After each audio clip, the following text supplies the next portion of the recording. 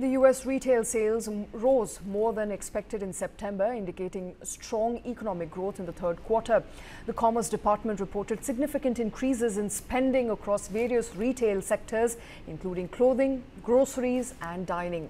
Online sales and receipts at bars and restaurants also surged, reflecting positive household finances. U.S. retail sales increased more than expected in September another sign that economic growth remained strong in the third quarter.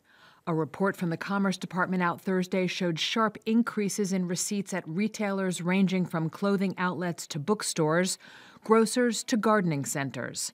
Online sales jumped, as did receipts at bars and restaurants. Economists view dining out as a key indicator of household finances.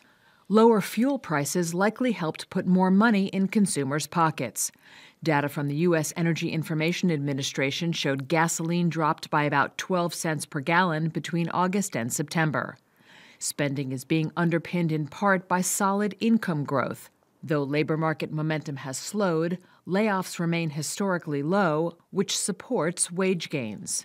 Signs of the economy's resilience will likely not discourage the Federal Reserve from lowering interest rates again next month, but will cement expectations for a smaller quarter point cut.